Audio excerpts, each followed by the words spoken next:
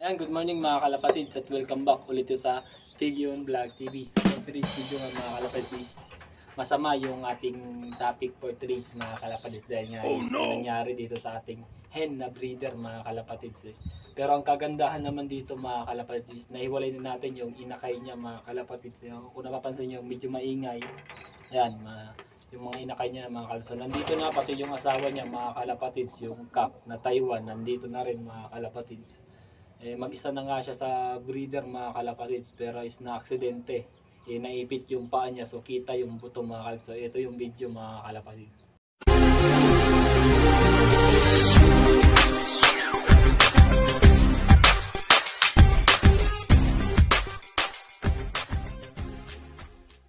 Hen, breeder, awit. Balik yung buto. Yan o. Maipit, tang ina isa nating breeder na hibon ayun no kita yung buto. Awit awit mga kalapatids. Ayan. Ayan ayan na mga kalapatids. Ito na yung ginawa ko sa ibon. Ayan. So ito yung paa niya mga kalapatids. Ito. Ayan Bale nga, sinabit ko siya. Lagi lang, isang linggo siya nakaganon mga kalapatids para is hindi niya na ito maiapak at para mas mabilis na gumaling mga kalapatids na. Eh, isang linggo siya ganyan mga kalapatids, nakasabit lang. Eh, tiyagaan na lang natin mga kalapatids. So ito lang yung naisip kong paraan. At nilagyan ko na rin yung sugat niya, yung tinahi ko ng kape mga kalapatids. No? Nilagyan ko ng kape to para maiwasan yung pagdudugo ng sugat niya mga kalapatids. So kaya ko ginawa ng sabit o hindi siya makakagalaw niya mga kalapatids. No? And bibigyan na lang natin siya ng patuka. So ganun parang ganun mga kalapatids. Papatukain na lang natin siya dyan at bibigyan natin ng tubig. So tiis-tiis na muna siya dyan mga kalapatids. So ginamitan ko siya ng brief. Yung brief ng pamangkin ko mga kalapatids yung ginawa kong pansabit sa ibon. Eh, para mas mabilis na gumaling eh, at huwag siyang malikot mga kalapatids kasi kapag wala siyang ganito at hindi natin isinabit eh lalakad ng lalakad siya is mas lalong masasaktan siya mga kalapatids na. Ayun na yung ibon. So grabe malaki yung sugat niya mga kalapatids dahil nga sa pagkaipit. Eh nagmiglas siya kaya na, nabali yung paa niya mga kalapatids no? Yung parting siko kung napapansin niyo mga kalapatids yung siko ng ating mga kalapate yun yung nadali sa kanya. Ito. So wait lang Ayan mga kalapads na yan. Ayan. Ayan yung nadali sa kanya. So bali yan mga kalapatids. Pero uh, sana makarecover to agad mga kalapads para mas makapaglakad-lakad siya. So kita niyo mga kalapatids yung paa niya ay magkaibang kulay. Yung isa violet na yan, yung isa pula.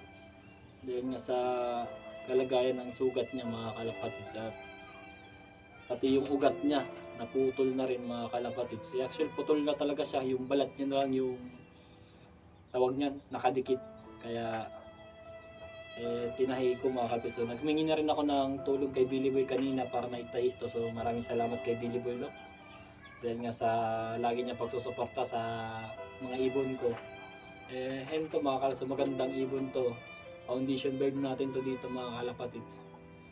So, sayang nga eh, pero hindi naman sayang mga kalapatids. Eh, sayang pa rin dahil nga gagamitin sana natin siya mga kalapatids. Eh, Kaya lang, hindi na muna natin magagamit siguro mga dalawang buwan para is mas makarecover itong mga kalapatids. Kaya gagamitin ko sana siya kaya ko siya iniwalay mga kalapatids sa mga inakay niya at sa asawa niya dahil nga may ipaparis ako sa kanya yung nabili natin kay Sir Chad.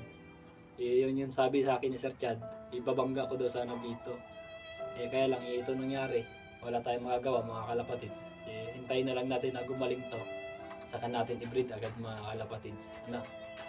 So, ayan. Napapakita ko sa inyo yung mga inakay nito mga kalapatids. Then ayan yung mga kalapatids yung kalagayan niya. So ganun lang siya mga kalapatids. So, isang linggo lang siya, isang linggo lang siya dyan mga kalapatids na nakasabit.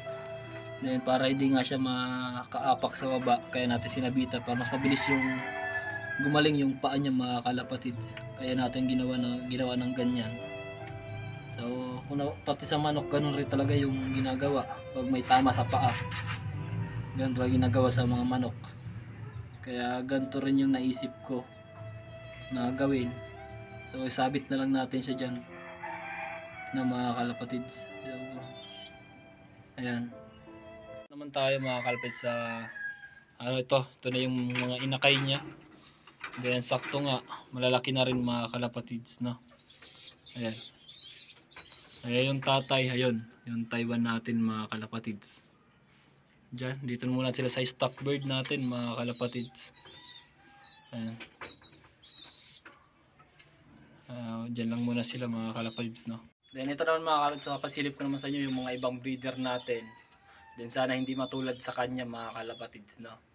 Eh, binibreed ko ulit sila mga kalapatids. So, ito tra, mga kalapatids. So, ayan, si Blue Bar at si Taiwan ulit mga kalapatids yung pinares natin. No. Ayan. Then dito naman mga kalapatids, ito yung dalawang blue bar natin, wala pa rin itlog mga kalapatids. Ah, wheat. Tagal ng tagal na to magpares pero wala pa rin itlog. Pero napaitlog ko na sila mga kalapatids. So, matagal lang talaga nasundan. Magida dalawang buwan na. Eh, ayan, awit sila mga kalapatids, no? Dahil dito naman sa mga rabbit ko, malapit na pala itong mga anak. Mga isang linggo na lang, mga anak na to. So, yung dalawa, malaki na. Ito. Then ito naman yung isang lalaki natin na parang layong head. So nilagyan na natin siya ng nest box sa paghahanda ng pag panganganak niya mga kalapatids. Ayan. Ito, lalaking lalaki mga kalapatids eh, no? Iya. Yung betlog niya mga kalapatids. Ayan, no? So, ayan, mga kalapatid. Ayun nga mga kalapatid, so bali nga in-update ko lang kayo dito sa nangyari sa isang breeder natin na hen mga kalapatids, no? Ayun nga, medyo, syempre, foundation bird natin yon eh, kaya ginawan ko ng vlog mga kalapatids. Para is tips na rin kapag may nangyari doon sa mga kagaya niyan, yung nabalian ng paa. So, tips ko na rin sa inyo mga yung ginawa ko mga kalapatids. Tinahi ko muna bago ko nilagyan ng kape para maiwasan yung pagdudugo, pagdudugo ng ibon sa sugat niya mga kalapatids. So, yung kape kasi kapag nawabasa is tumitigas mga kalapatids. So, natatapan yung sugat.